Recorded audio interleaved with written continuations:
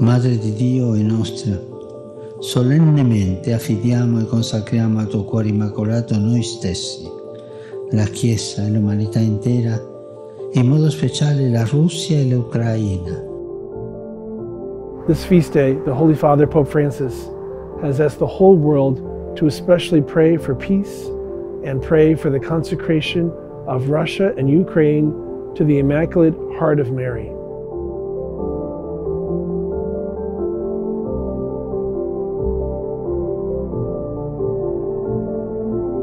Prayer has the power to transform the hearts and minds of those we cannot convince with our arguments, with our strength, with our power. We will process with the Blessed Sacrament through the Budomierz border crossing, stopping to pray at the border, uh, blessing Ukraine with the benediction of the Blessed Sacrament.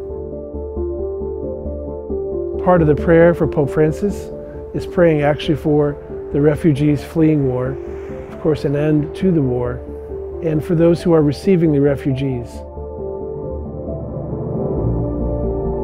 Cieszę się bardzo, że rycerze Kolumba zaprosili nas do tej wspólnej modlitwy właśnie tu, na granicy z Ukrainą. Dla mnie to był bardzo szczególny taki moment.